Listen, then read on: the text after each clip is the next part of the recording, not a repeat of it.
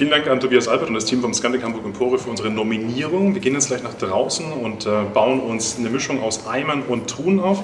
Die roten Boxen dienen dazu, dass wir hinterher kein Wasser verschwenden. Also wir werden jeden Liter Wasser, den wir auffangen, auch wieder zum Blumengießen benutzen. Wir nehmen die Herausforderung an und die Nominierung, würden aber dennoch im Nachgang gerne unseren Teil dazu beitragen und spenden. Vielen Dank. Olli, die Bühne gehört dir.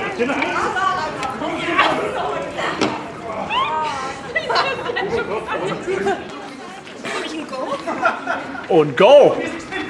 Go,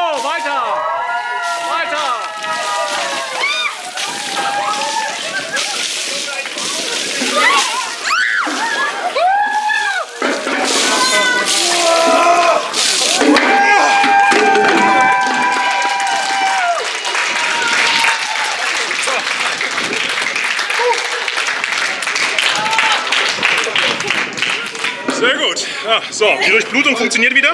Wir würden gerne Lars Meyer von Preventers Hamburg nominieren. Wir möchten uns bedanken beim Steigenberger am Kanzleramt für dieses tolle Interview in der AGZ und nominieren dafür Thorsten Schulze und unserem CEO Frank Fiskers. I'm sorry, Frank, it was his idea.